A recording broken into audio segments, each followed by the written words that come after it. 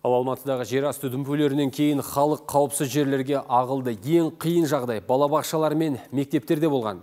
Кей ғимараттарда терезелер сынған, әзірге ауруханаға түскен азаматтар туралы ақпарат жоқ. Сондай ақ қалада 10 балдық кептеліс болып, такси құны қымбаттаған. Әріптесім Бауыржан Жақсымбет тұрғындардың өздерімен тілдесіп келді.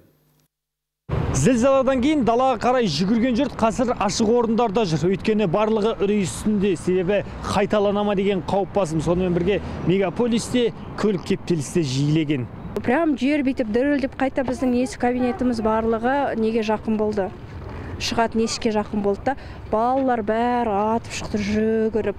Ондай кезде әрине бәрінде паника болады ғой. Бәріміз жүгіріп шықтық сумка бәрін тастап. Өткен жолы затяжной болды ғой а в этот раз не так. Кішкене қатты сілкітті потом мы выбежали на улицу мы даже не оставались. Сілкіне бастаған кезде шықтық сразу сигнал қосылды. Жер сілкінісі кезінде үйде болдық жиырма екінші қабатта тұрамыз. Қатты сілкінді иә екі баламен сіңлім бар төртеуміз далаға шығып үлгердік киініп. Қатты сілкінді алдыңғы жолғыдан да қатты болған сияқты осы жолы.